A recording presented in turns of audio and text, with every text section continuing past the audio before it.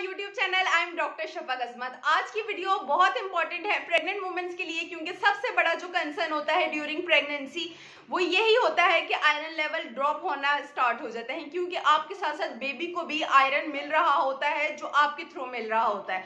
तो आपने इसमें सबसे ज़्यादा ख्याल रखना है, वो आपने यही ख्याल रखना है कि आपके आयरन लेवल्स कम ना हो, उसके लिए आपको अपनी डाइट बहुत अच्छी लेनी चाहिए। ठीक है, उसमें आपने क्या करना है, मैं आपको कुछ टिप्स बताऊँगी जो आपने नोट डाउन कर लेनी है केयरफुली और फिर आपकी कोई भी क्वेश्चन क्वारीज होंगे तो आप मुझसे कमेंट सेक्शन में पूछ सकते हैं।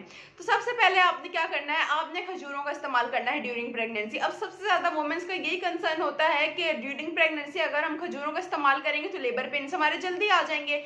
तो इसके लिए भी एक बहुत अच्छी चीज़ है कि आपने रात को खजूरें भिगो देनी है पानी में। आप दो से तीन खजूरें ले लें, ठीक है? उसको आप रात को पानी में भिगो दें और सुबह उठ के या जिस वक्त भी आपका दिल चाहे, आप उसका मिल्क शेक बना के बना, पी लें। ठीक है उसमें आपने क्या करना है कि जो खजूरें आपने पानी में भिगोई होंगी, वो पानी साफ़ होना चाहिए, क्योंकि आपने वो पानी भी इस्तेमाल करना है मिल्क शेक में, ठीक है? आपने मिल्क लिया, एक कप ठीक है, उसमें आपने वो खजूरें डाली सीड्स निकाल के, और फिर आपने वो पानी भी उसमें डाल लिया, और चाहें तो आप थोड़ा सा ड्राई फ्रूट भी डाल सकते हैं, जिसमें आप बादाम वगैरह डाल सकते हैं, वो भी आप अगर पानी में भिगो के रखेंगे तो उससे भी उसकी तासीर ठंडी हो जाएगी।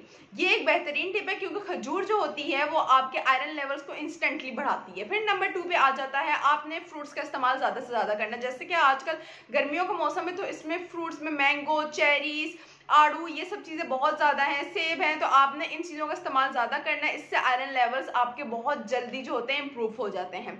नंबर थर्ड पे आ जाता है कि आपने कलेजी का इस्तेमाल करना है, कलेजी गाय की हो सकती है, मुर्गी की हो सकती है, जो भी आपको अच्छी लगे, आप वो लेकर उसको अच्छी तरीके से भून के और वो खा सकते हैं। फिर इसके अलावा आपने गोश्त, चिकन और इसके अलावा एग का इस्तेमाल भी लाजमी करना है। फिर आपने जो होता है कि किशमिश भी आपने लाजमी लेनी है। अब किशमिश में आपको बता दूँ, किशमिश किस तरह लेनी है? किशमिश भी आप या रात को यही करेंगे कि उसके ग्यारह दाने आपने भिगोने हैं। पानी में ठीक है पानी साफ़ होना चाहिए, पीने वाला होना चाहिए, वो पानी में आप ग्यारह दाने भिगो देंगे और सुबह उठ के आपने निहार, मुँह, किशमिश के दाने खाने हैं और फिर ऊपर से आपने वो पानी पी लेना है।